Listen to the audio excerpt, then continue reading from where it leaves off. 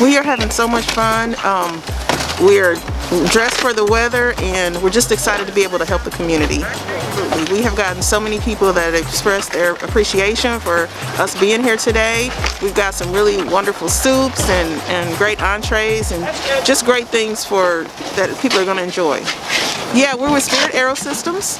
We normally volunteer every second Tuesday of the month, uh, weather permitting, but we were asked to come and help. The food bank was a little short-handed this morning, so we grabbed a crew, we grabbed our gloves and our coats, and we're here to support.